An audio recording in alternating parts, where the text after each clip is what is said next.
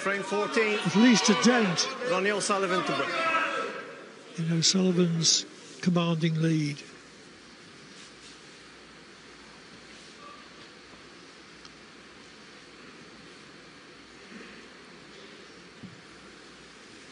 Hallett in the Masters final at the old Wembley Conference Centre and 198.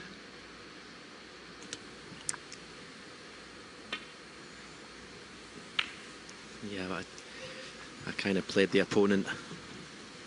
I could see my opponent weakening, which I don't really see that happening with uh, Ronnie tonight. I think this this match is not going to be lasting a whole lot longer. It's just been the, the consummate performance today. O'Sullivan has no record at all of seizing up close to the winning line.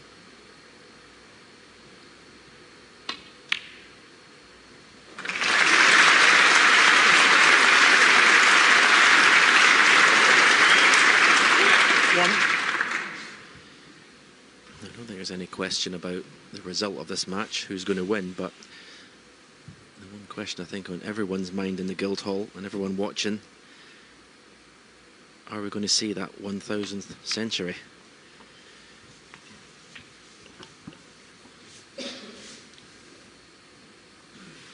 Six. Well, he started the day on 997.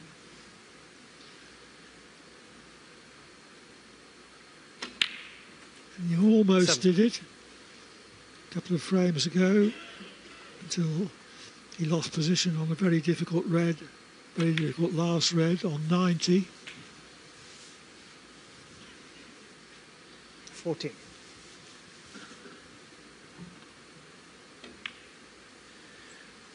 Well, if we go on the evidence of how we've seen Ronnie play to date, you would say that you know, Robertson's played his last shot in this match.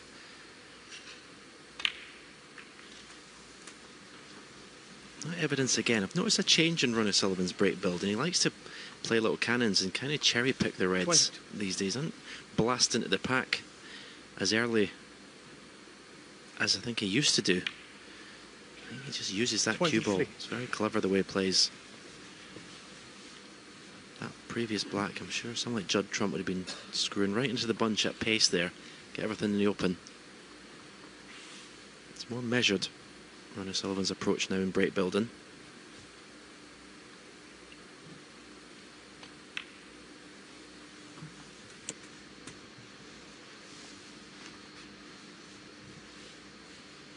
Thirty.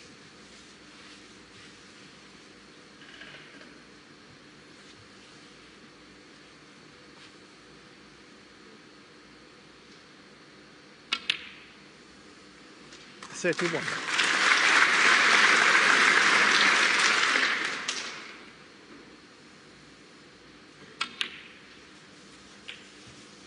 O'Sullivan began his journey to a thousand centuries in his first professional match when he was 16.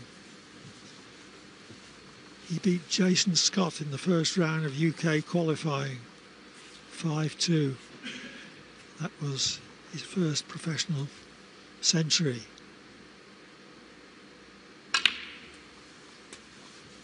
His total also includes 15 147s. Forty-six.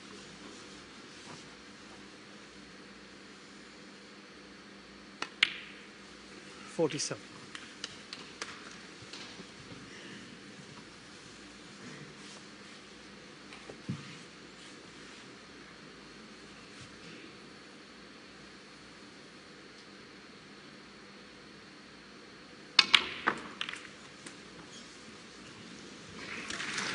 Scotland to left middle.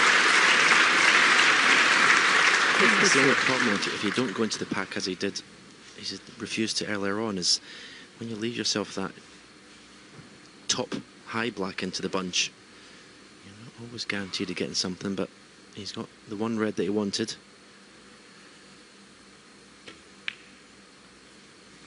Fifty-five. Huge air of expectancy in the Guildhall. Well, this 60. huge crowd is going to witness a moment 61. of snooker history, I think.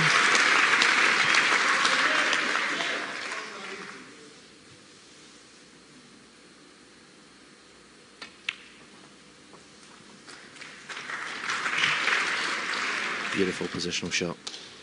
68. 69. Oh, that's the title. 69 ahead, 67 on. There's history coming. Perfect. As Stephen said, 6. O'Sullivan is already sure of the title, 77. his 35th from his 50th ranking final. Counting invitation events, it'll take his total 83. in all to 68. 84. Five pots.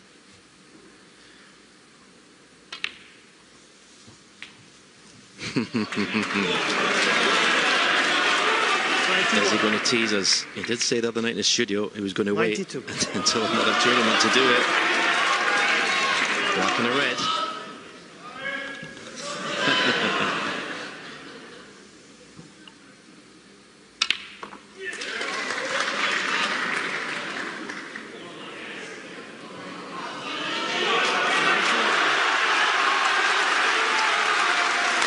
This is it.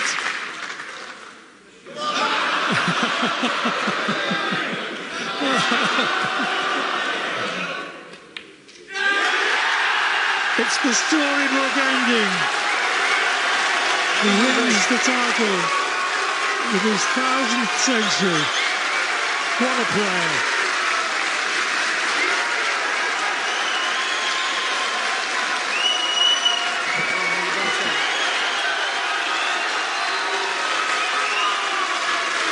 Incredible achievement. Really is phenomenal. The ultimate break builder.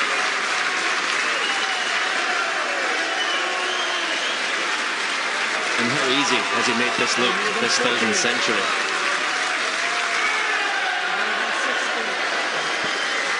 And if he clears the table, he robs Neil Robertson of the £5,000 highest break prize. 119.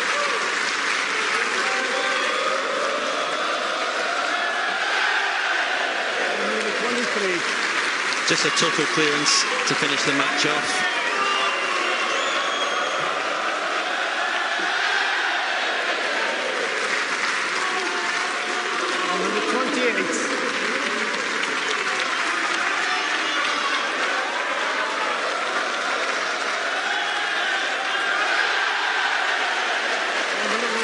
34.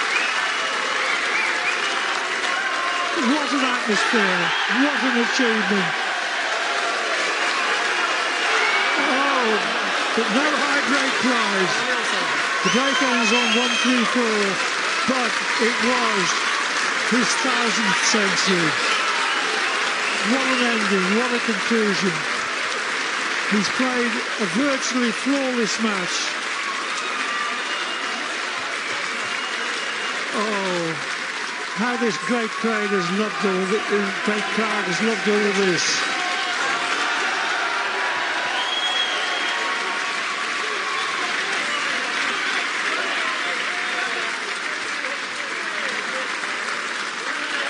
It takes his earnings for the season over the three quarters of a million mark, but he's not interested in that. Records are the thing, and th- this is a fine one.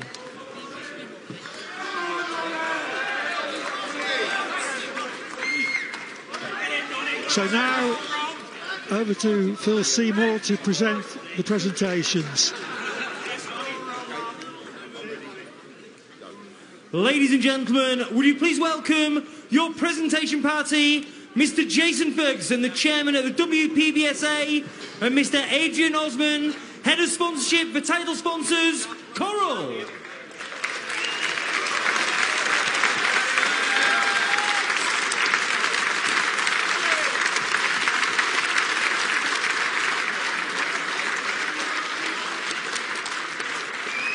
Ladies and gentlemen, firstly, would you please put your hands together for your runner-up, collecting the medal and a prize money of £50,000, Neil Robertson!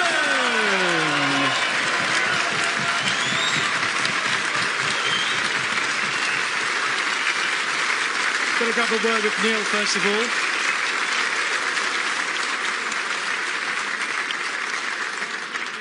Neil, it's been a strange occasion for you, I guess, watching today. Obviously, Ronnie's been playing brilliantly. You've just witnessed what is history for the game of snooker. But you yourself and the way you played today, it appeared that you didn't do a lot wrong. No, that's right. I mean, that's the uh, the harsh reality of snooker. You know, I think um, throughout the whole match, I think I only missed three balls that kind of really mattered. Two of them were extremely difficult as well. But um, you know, the first four frames, uh, you know, I didn't do anything wrong. Uh, anything wrong. Um, Ronnie knocked in some unbelievable long balls to get in. So I don't feel as though he took my game apart. I felt he kind of like took the table apart because it was just like, you know, I, I, I played good shots and I got punished for playing good shots. So um, sometimes you have to hold your hands up and say, um, you know, just very well played to Ronnie. It was, it was outstanding today. Absolutely. Very well played. A lot to take away from this week. Uh, yeah, definitely. I think. Um, yeah, it's my, uh, my fourth final this season. Obviously, won a couple of them. So, um, but you know, when you come up against someone um, playing as well as that, it's, it's, very difficult to deal with. And um, you know, you either you must hate my guts or have a lot of respect for my game to play like that against me. So, I hope it's the latter. So. Well, we know he likes your accent. well played, Neil Robertson.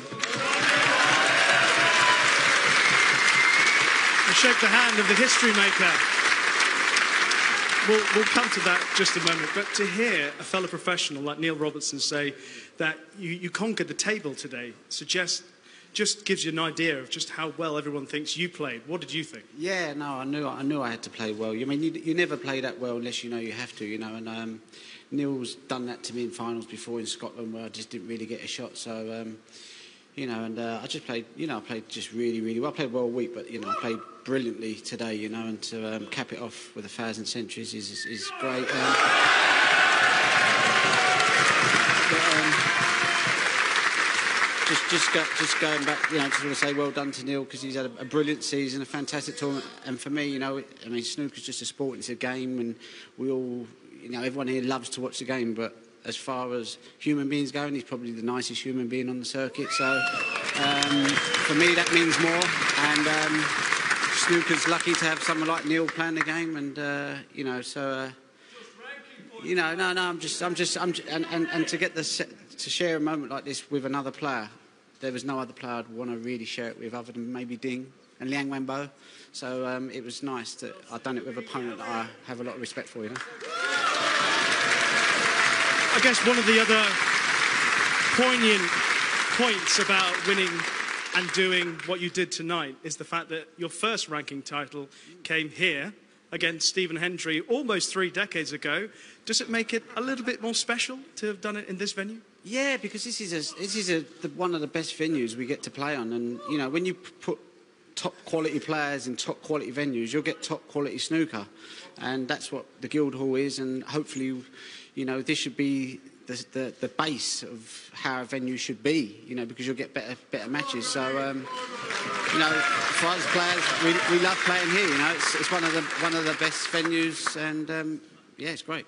Ronnie, you always talk about how good the other players are, what a lovely bloke Neil is, but tonight you heard what the crowd were doing as you got closer and closer to the historic century. If you look at the sign just behind you, Ronnie O'Sullivan, snooker legend, 1,000 centuries, and every single person who's here tonight, they'll never forget this night. What does that mean to you? Um, I suppose, I suppose to me, it's just what I do. You know, ever since I was seven, eight, I just play, I played snooker pop balls. I love the game, but you know, to share it with the fans here in Preston and and any snooker fan, you know, because there's snooker fans all over the world. So Preston's just lucky that it was here tonight. But but but I would like to sort of, um, you know, everywhere I go to play or everywhere we go to play, snooker fans all around the world support our sport, and it's done for every snooker player in the whole world. So that's um, that's a, a great pleasure for me. Well, it was a great pleasure. I speak on behalf of every single person here and every single person watching. Congratulations on the history, a thousand centuries, and the Coral Players Champion of 2019, Ronnie O'Sullivan. Ladies and gentlemen, your winner, collecting the trophy, prize money of £125,000 and the title of 2019 Coral Players Championship winner, the history making, the Rocket, Ronnie O'Sullivan!